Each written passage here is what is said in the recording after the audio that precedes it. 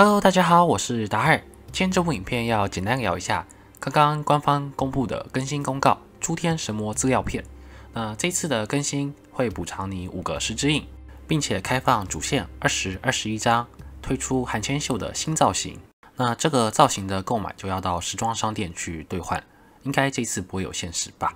然后终于推出了我们一直在期待的新角色剑邪，还有于小荣。那关于这两只角色的详细介绍，你们可以回去查看我的前两部影片。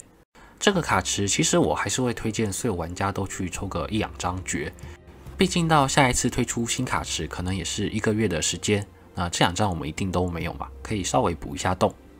那随之开放的第三期光峰祭月大奖就是我们冲到七千六百台币的话，可以选择拿到两个造型，里面会包括见血跟这个于小荣的造型。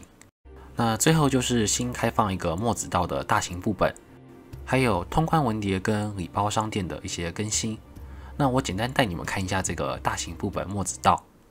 那这篇会讲解的是根据入服推出的一些资料来做讲解。那我们首先先简单看一下这一次推出的墨子道的副本，开放的关卡包括剧情还有挑战两种玩法。那打过一定的关卡之后，就可以获得一些奖励。每日任务里面会更新一个每打过一次机关蜘蛛就可以获得一点积分的任务，在积分达到三、五跟七，分别可以拿到一个抽跟一个灵玉石，还有墨子道的皮肤。那这个皮肤我个人是觉得还蛮帅的啊，所以如果有条件的玩家，就每日可以去打一次那个剧情关卡就可以了。只要打死一只蜘蛛的话，你就可以获得一点积分，累积到七日就可以获得这个造型了。那除了这个每日任务获得的奖励以外，我们如果把 BOSS 装备上一些配件，提升它挑战的难度等级，也可以拿到一些高额的积分。积分越高，就可以拿到越好的奖励。那这个 BOSS 难度的开放时间会随着时间慢慢开了，所以一开始是拿不到全部的奖励的。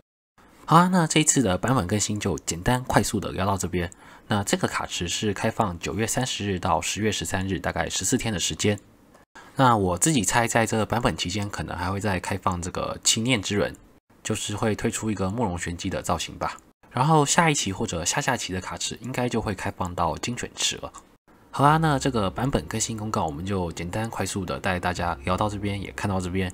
希望大家喜欢这部影片，喜欢千万不要忘记按赞订阅我。我是达尔，我们下期再见哦，大家拜拜。